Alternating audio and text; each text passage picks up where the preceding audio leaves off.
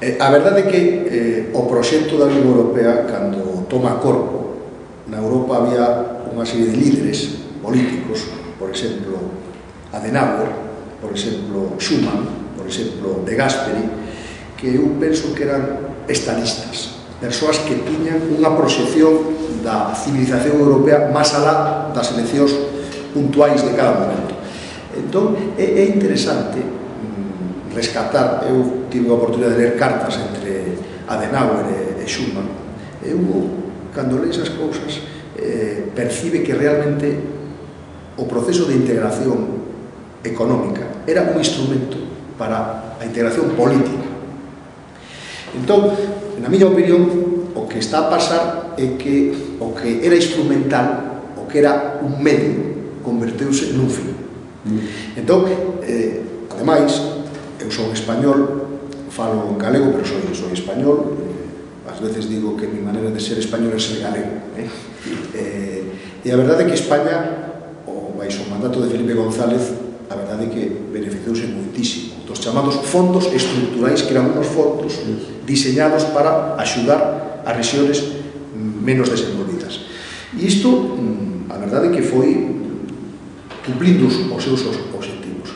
Claro, cando a integración europea abre as súas portas a un sinfín de estados que habría que preguntarse realmente pola súa vocación europea, pero que ben vido seña porque Europa ten que acoller a todos con as mans abertas, claro. Eh, os fundos, o diñeiro que é limitado, pois xa non pode chegar como chegaba antes, mm. que éramos eh, un grupo pequeno de países Entón, o proxecto europeo, en este momento, mm, non é que este esgotado.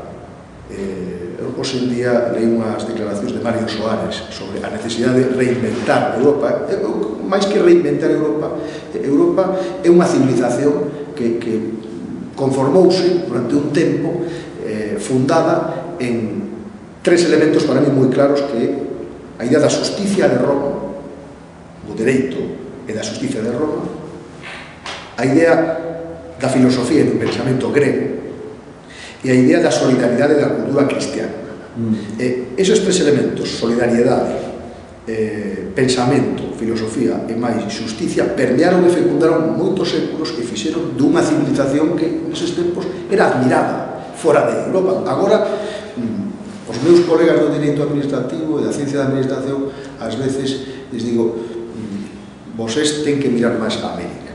Porque aquí, eh, totalmente en Brasil, é o que se percibe unha grande sensibilidade social. Se fala moito de política social, se fala dos delitos fundamentais sociais, e para, para moitos expertos e moitos pensadores da integración europea, que, que é un modelo que combina a eficiencia do mercado, pero a equidade social.